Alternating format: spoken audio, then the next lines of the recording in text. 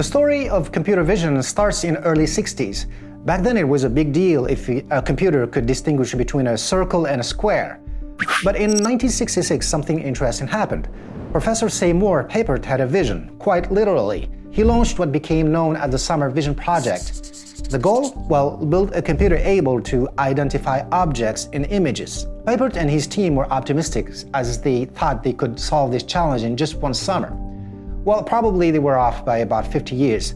But that summer project, despite the fact it did not achieve its ambitious goals, it is now recognized as the moment computer vision was born. It set the stage for everything that followed. Fast forward today and look what we are now. Self-driving cars with advanced vision systems, AI-powered drones that can spot defects, think also of system tracking thousands of people in real time, and robots that do not just see, but also interact what they see. The applications of computer vision seem endless, touching everything from business operations to the phones we carry in our pockets. So the least we can say is that the journey from that ambitious summer project to today's vision systems is remarkable. But how did we get here? How do machines actually see and understand our visual world? And what does it mean for managers and their businesses? Stay tuned because today we're looking into that. I'm Hamid Nach and welcome to a new episode of eKompass.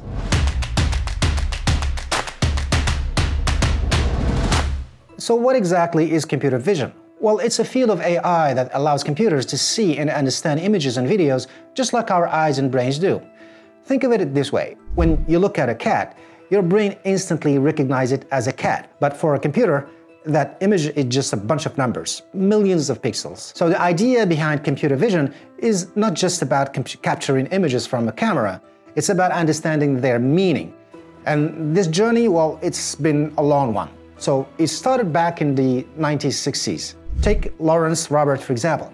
His work on finding edges opened the door to what we now call feature extraction which means identifying elements like lines, corners, and textures in images. It basically showed that indeed computers can understand shapes.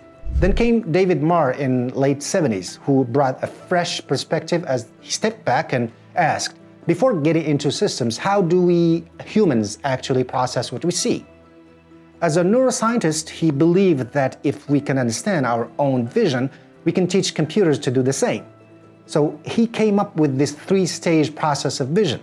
First, catching edges and basic features, then figuring out vets and surfaces, and finally building complete 3D models in our minds. His ideas were game changer and are still used today. Now, fast forward to 1986, and we get another breakthrough the Canny Edge Detector.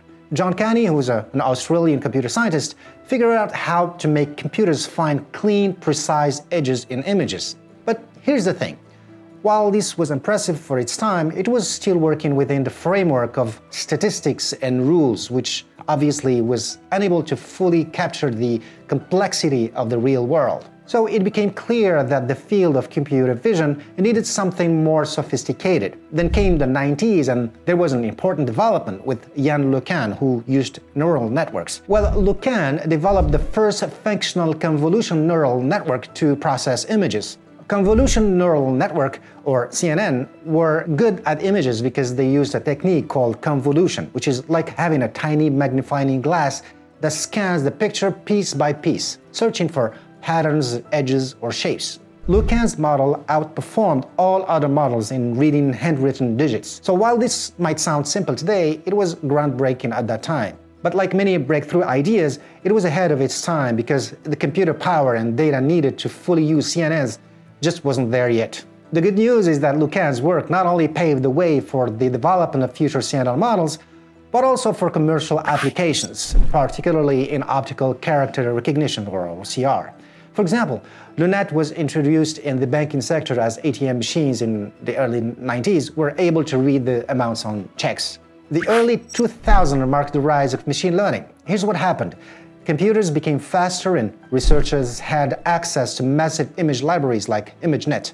This combination opened the door to great possibilities, which is teaching machines to identify objects in images. Researchers tried different approaches, and one that stood out was support vector machines, which was developed back in the 90s by Vladimir Vapnik and Corinna Cortes. SVM was good at sorting images and detecting objects, and we could say that machines were finally started to see. But there was still a catch. These systems weren't as automatic as they seemed. Scientists had to tell the computer what elements to look for in the pictures. For example, if the task is to identify a cat, the instructions would be Look for pointy ears, a tail, a whiskered face, a rounded body shape, and fewer. But you can't create those detailed instructions for every object in the world. What about a fruit, a forest, a fire, or a cloud? So yes, the machines could learn, but still they relied heavily on humans to decide which features to look for. What the field really needed was something smarter that could figure out these important features on their own. The breakthrough came in 2012 as deep learning and convolutional neural network converged. It began with AlexNet, a model developed by Alex Krizhevsky, Ilya Sutskever, and Geoffrey Hinton. This model was a game changer. It could learn features like edges and shapes right from images on its own, without relying on human inputs. From that moment, the evolution of computer vision just took off. Today, modern computer vision systems, especially those based on deep CNN, can automatically detect and learn features from data on their own. Today, machines moved beyond simply identifying objects. They started detecting and segmenting and even understanding entire scenes in real time. And applications have flourished across industries, from facial recognition in smartphones to innovations in medical imaging. And as we all know now, we even reached the point where AI can create images like DALL-E and Midjourney. So how does modern computer vision actually work? Let's break it down with an example. Imagine you have a picture of a guitar.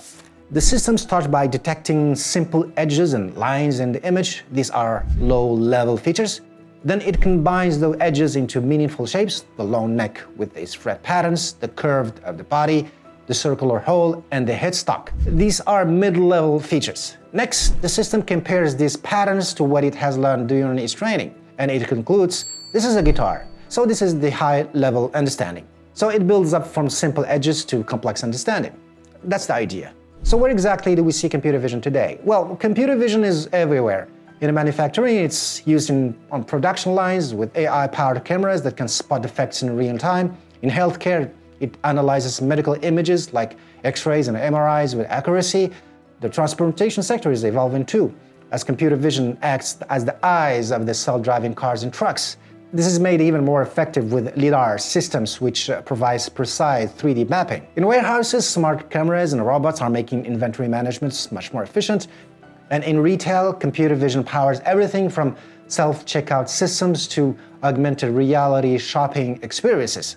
On farms, AI-equipped drones monitor crops to detect any potential issues, while the food processing industry uses it to sort and grade products. Computer vision has also enhanced public security. In real estate, AI vision tools analyze property photos and videos to identify issues like cracks or structural problems. The financial sector is also finding value in computer vision as it uses it for processing checks and detecting fraud. And in the insurance industry, it's used, for example, for assessing claims through pictures analysis. Entertainment is benefiting too, with computer vision powering augmented and virtual reality experiences that are changing how we interact with digital content. In sports, it's used to track every player's movement during a game, providing detailed insights and analytics. So the possibilities are endless and it keeps growing. And as the technology develops, definitely we'll see even more creative applications. So what does it take to actually deploy computer vision in your organization? Well, it all starts with a clear business intent. What are you trying to achieve? Are you looking to streamline quality control, enhance customer experiences, optimize production lines, or improve safety? Obviously, defining a business goal is critical because it shapes every decision that follows. Then you need data. Computer vision systems require hundreds, sometimes thousands of labeled images to learn their tasks effectively. For example, if you're sorting fruits, your data might have images labeled by type, size, or defects. If you have a small set of images that might not be enough to train your model, you can use the data augmentation to generate more images by tweaking existing ones, like flipping, rotating, or cropping. And if you have extremely large data set, say millions of images, labeling everything might be impractical. In that case, semi-supervised learning can help as you can label a small portion, say 10%, and letting the system learn patterns from the rest. After data comes the model and tools. Once you've got your data sorted, it's time to choose your model approach. And there are three main paths managers can take. First, there are the pre-trained models, which are ready to use off the shelf.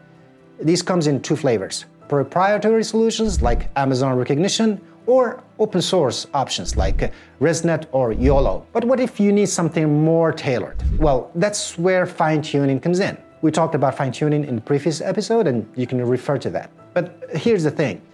Let's say you are a manager in manufacturing company and you need to spot defects in bottles you can take a pre-trained model and fine-tune it with your specific images of defective bottles. The model already knows how to see, you're just teaching it how, what to look for. Finally, there is the custom approach, which is building a model from scratch.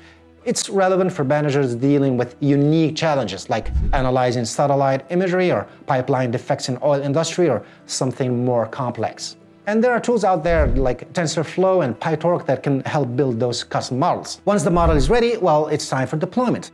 This step involves integrating the computer vision system into the organization processes. Finally, there is the continuous improvement.